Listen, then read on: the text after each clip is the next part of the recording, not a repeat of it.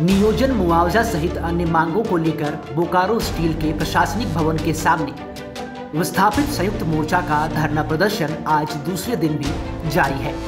धरना प्रदर्शन के पहले दिन बोकारो स्टील के सुरक्षा कर्मियों और विस्थापित नेताओं के बीच झड़प की बात भी सामने आई थी। विस्थापित मोर्चा ने प्रबंधन को चेतावनी दी है कि जिस मकसद के साथ प्रबंधन के द्वारा विस्थापितों के 19 गाँवों को खाली करने की मंशा ज़ाहिर की गई है, वो कभी पूरा नहीं होने देंगे।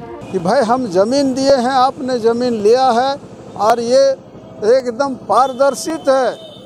दुनिया देख रही है कि विस्थापितों का ज़मीन में बोकारो जैसा स्टील प्लांट, एशिया का सबसे महान स्टील प्लांट जो विस्थापितों का छाती में गड़ा है आज विस्थापित बड़ा ही दुख और दर्द के साथ ये अपना मांग को लेकर आज दो दिन से यहाँ पर बैठा है। ऐसे तो हमारा घोषणा है, एक तारीख से लेके इकतीस तारीख तक। जब तक हमारे मांगों पर सुनवाई नहीं होती है, हमारा मांग है नौकरी मुआवजा पुनर्वास, और एक मांग ये भी है ये चुनौती भरा शब्द में इनको मैं कहना चाहता हूँ बी प्रबंधन को, कि ये 19 गाँव 19 गाँव को खाली करने का सपना ये छोड़ दे, और नरकरा में जो इन्होंने लीजकरण कर दिया है, लीज एग्रीमेंट जो कर दिया है, करने से क्या होगा?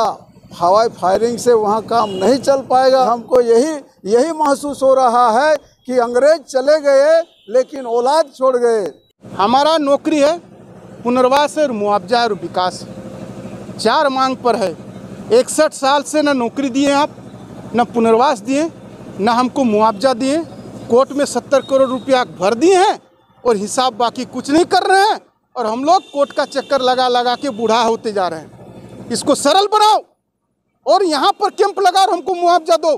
डीपीएलआर में कैंप लगाओ। ये सरल नियम बनना चाहिए। न हमको मुआवजा दिए, न नौकरी दिए, हम करा गाँव को गाँव उठा दिए। न्यूज़ अपडेट के लिए आप हमारे चैनल को सब्सक्राइब करें। आप हमें फेसबुक और इंस्टाग्राम पर भी फॉलो कर सकते हैं। बने रहे लगातार डॉट इन के साथ।